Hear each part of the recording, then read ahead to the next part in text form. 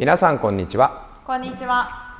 えー今日はスタンダードすべ、えー全ての種目に言えると思います、えー男性と女性のファーストコンタクトですね、えーグリップの、えー握り方について説明したいと思います。早速行ってみましょう。はい、それでは、えー今回ご紹介するグリップの握り方ですね、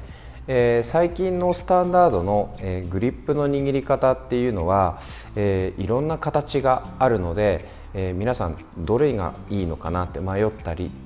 もしくはそんなに気にしないで組んでいる方もいると思うんですけど男性は結構こっちのグリップの握り方ってこだわりがあります。というのはやはり、えリードをしたいというかきっかけを作るために最初のこっちのファーストコンタクトっていうのはすごく重要になってきます。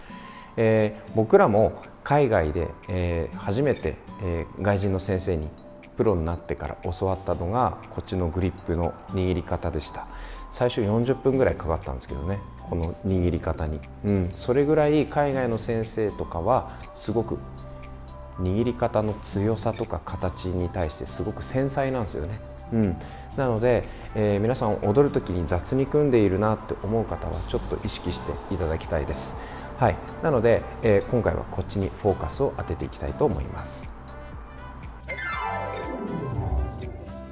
はい、それでは、えー一般的な、えーよくあるタイプの組み方なんですけどもまず男性が左に左アームを出して女性を招くと思うんですけどこの時にまあ適当にこう組んでると思いますね。大体の方は特別何も意識しない状態でグリップを握っている方が多いと思うんですけども、えー最近の握り方としてはえーちょっと細かくなるんですけども男性の親指と女性の親指の高さ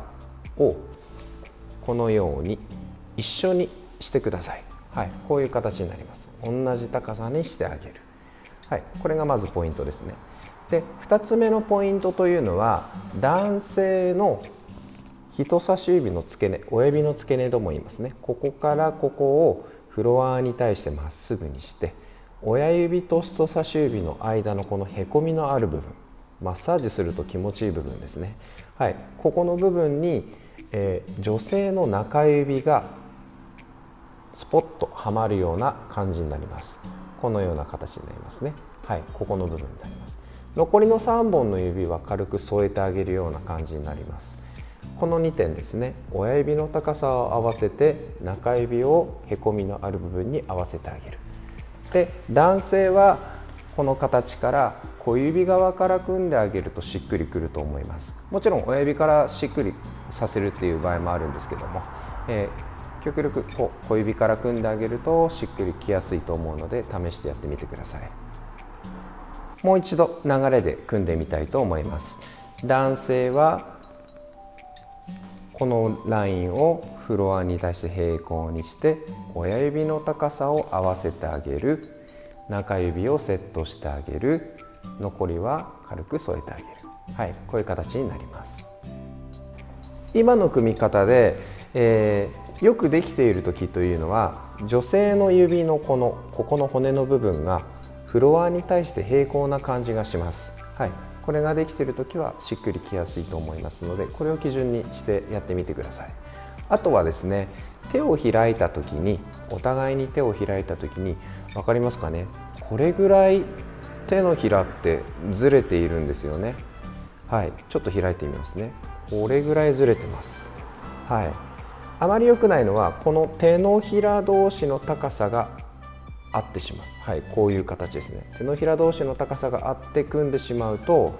見えますかね？ちょっとだるっと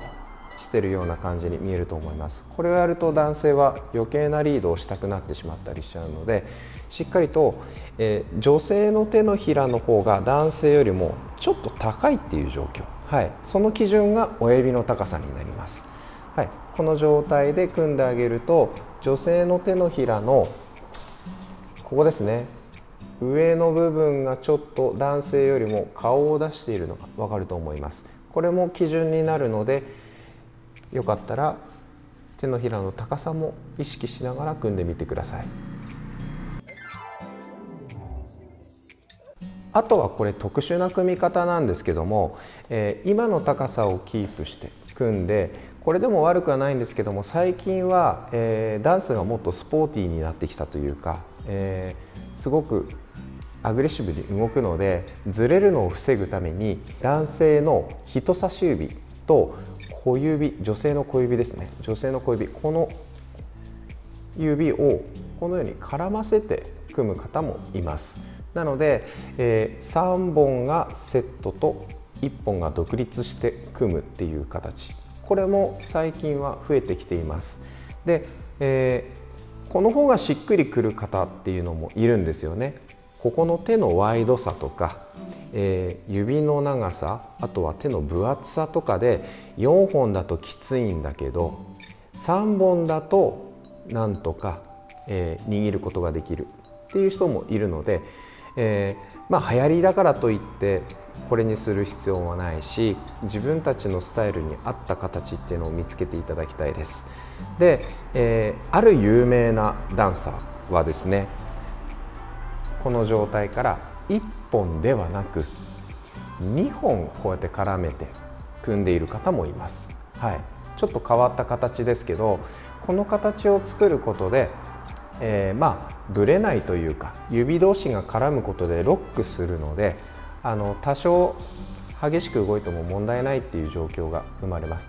ただここまでいくとかなりのその信頼関係というかはい、なんかうわ気持ち悪いってなっちゃう人もいるので あの絶対ではないです。はい、あの指1本引っ掛けるだけでもちょっと嫌だっていう感じの人もいるので、えー、まあ、おすすめとしては4本とも、まあ、引っ掛けずにですね4本とも覆いかぶさるような形のスタイルで手のひらを前後ごめんなさい上下ですね。手のひらを上下にずらした状態で組んであげる。はい、その基準としては親指の高さと人差し指が男性のへこみにくるっていうのがポイントになってくると思うのでこれはオールダンスですね。ワルツタンゴスロークイックどの種目にも言えると思いますので、え、最初のグリップの握り方ちょっと意識して練習してみてください。男性目線でやると男性は手を出して女性は親指の高さを合わせてあげて人差し指がへこみにくる感じ。はいこういう形になります。そこから小指側から折っていって握ってあげる。はいこういう形になります。もう一度いきます。男性は手を出します。女性は親指の高さを合わせて中指が人差し指と親指の間のへこみの部分にセット。はいこういう形になります。残りの指を軽く添えてあげて男性が小指側から握ってあげる。はいこういう形ですね。はい皆さんいかがだったでしょうか、えー、今回はスタンダードの、えー、ファーストコンタクトですね。えー、男性はグリップ、えー、左グリップ女性は右グリップの、えー、組み方を説明させていただきました、